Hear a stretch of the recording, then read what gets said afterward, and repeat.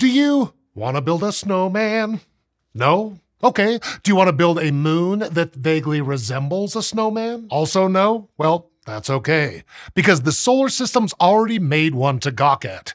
It's a tiny moon called Selam, orbiting a slightly less tiny asteroid called Dinkinesh. It was discovered back in November 2023 thanks to a visit from NASA's Lucy spacecraft, and astronomers figure it was Dinkinesh that made its snowman of a moon by spinning so fast it broke into pieces.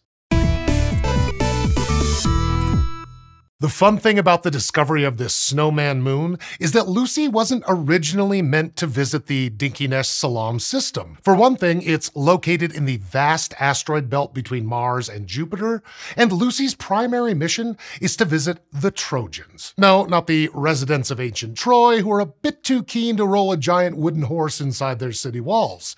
These are the Trojan asteroids, a group of asteroids that share Jupiter's orbit, but due to Jupiter's and the sun's gravity are clumped into one general spot in that orbit. And Lucy's headed there because we've never explored this particular group of rocky spaceballs up close before. Scientists are hoping they'll tell us more about how the solar system formed. But first, it'd have to make it through the asteroid belt.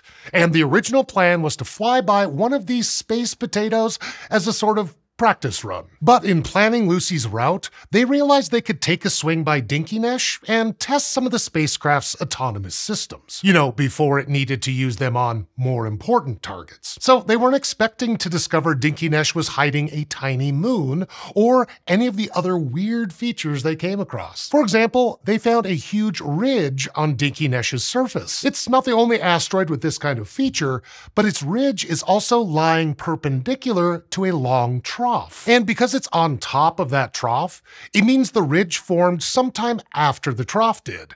But it could be immediately after or a long time.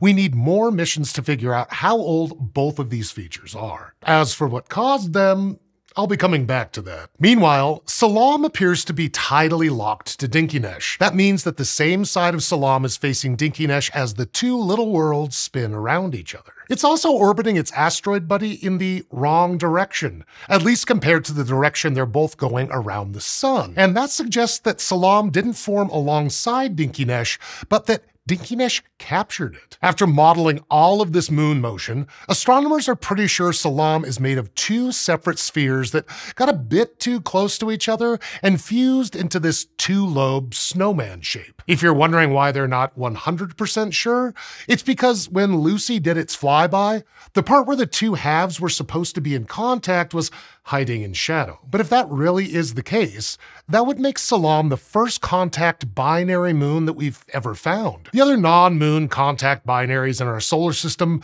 include the comet 67P Churyumov-Gerasimenko and the asteroid Arrokoth, both of which also had robot visitors. But how did Selam get to be this shape?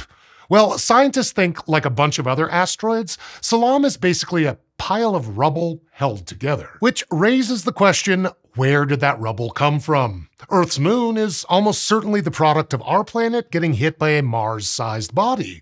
Did Dinkinesh get hit by a large space rock too? It turns out, no. Somehow, Dinkinesh started spinning so fast that it shed a bunch of debris into space, which then either rained back down, forming that ridge, got lost out to space, or clumped up into two decently sized orbs that then kissed hard enough to make Selam. But how do you make an asteroid spin that fast? Do you fire a bunch of BBs at just the right angle over and over? No. All you need is the sun. See, the sun is constantly spitting out radiation, and when that radiation hits something, be it an astronaut or a solar sail or a full-size planet, it exerts a tiny bit of pressure. For bodies that are massive enough, it doesn't do a whole heck of a lot. But for small bodies, like plenty of asteroids, it can get them spinning faster than they had been. Astronomers call it the YORP effect. And models suggest that if a small rubble pile asteroid gets spinning so fast that it makes one rotation every two hours, it can get ripped asunder. As for Dinkinesh, we can see evidence of this spin up not just in the debris left behind. It's still spinning really fast, making about one rotation every four hours. So maybe, far enough in the future, Selam will have another moon buddy. But while everyone waits to see if that could ever happen, Dinkinesh and its snowman of a moon are telling us a lot about the early solar system. Because the Earth, if not all the planets, probably started out as a bunch of smaller rocky bodies coming together. So when we look at worlds like Dinkinesh and Selam, we learn about our own planet. But maybe it's okay to just look for all the weirdest shaped space rocks in our solar system, too. Now, if you're the crafty sort and want to make your own bling, you could try making your own miniature Dinkinesh Selam system out of some rocks and a safety pin. But if you prefer your pins a little more stylized and a little less DIY, you might be interested in our latest piece of limited edition merch. Head over to complexly.store slash scishow to pre-order yours today.